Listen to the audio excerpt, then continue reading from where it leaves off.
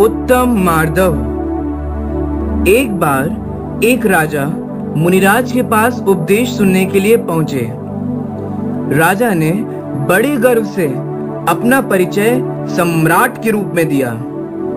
इस पर मुनिराज ने पूछा, तू अगर रेगिस्तान में भटक जाए और प्यास से दम घुटने लगे और उस वक्त कोई गंदे नाले का एक लोटा पानी लेकर तेरे से कहे कि, हे राजा, इस लोटे भर पानी का आधा राज्य है तो बोल, तू क्या करेगा? सम्राट ने कहा, मैं तुरंत वही पानी ले लूँगा और अपनी प्यास बुझाऊँगा। फिर मुनिराज ने कहा, यदि वह सड़ा पानी, पेट में जाकर रोग उत्पन्न कर दे और तू मरणासन हो जाए, उस समय एक हकीम पहुंचकर कहे कि, अपना आधा राज्य दे दो तो मैं तुम्हें ठीक कर सकता हूँ। तो बोल राजा, तू क्या करेगा? राजा ने कहा, उसे आधा राज्य देकर अपने प्राणों की रक्षा करूँगा, क्योंकि जीवन ही नहीं तो राज्य किस काम का?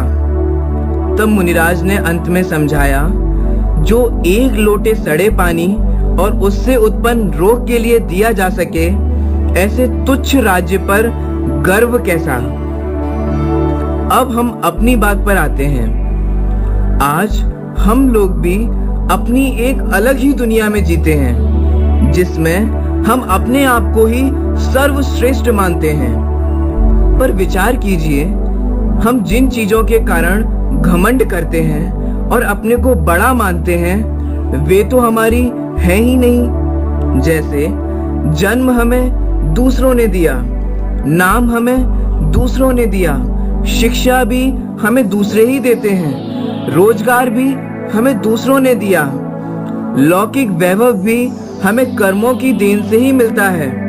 और अंत में शमशान, वो भी हमें दूसरे ही लेकर जाएँगे।